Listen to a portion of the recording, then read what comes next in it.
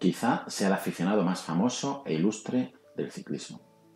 Se trata del alemán Dieter Senft, más conocido como Didi, aunque llamado por todo el mundo de forma cariñosa como el Diablo del Tour. Es un diseñador de bicicletas e inventor alemán. Durante su juventud, fue un ciclista que disputó varias competiciones y carreras en Alemania Oriental, participando desde los 14 años en pruebas de carretera y ciclocross, aunque lo dejó a los 18 años al ser consciente de que no estaba dotado para llegar a ser profesional. Más tarde pasó a diseñar modelos de bicicleta, muchos de ellos curiosos o poco usuales. Dirige un museo en su ciudad natal, Storquo, con más de 120 modelos en exhibición.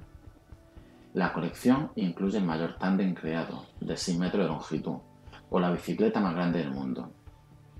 Sus creaciones han servido para promocionar grandes eventos, como el Festival de Eurovisión o el Mundial de Fútbol de 2006.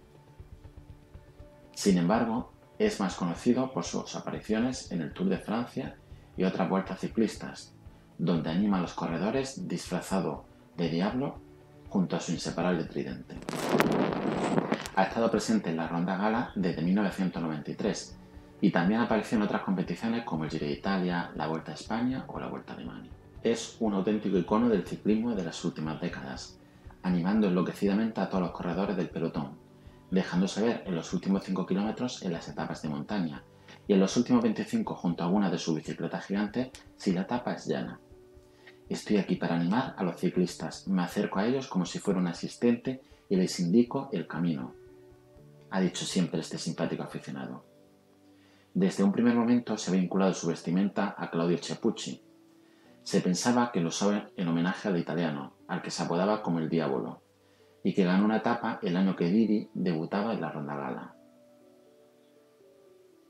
Sin embargo, su caracterización como Diablo se remonta a las primeras carreras ciclistas que él vio por televisión, en las que el triángulo rojo del último kilómetro de cada carrera recibía el nombre de Diablo Rojo.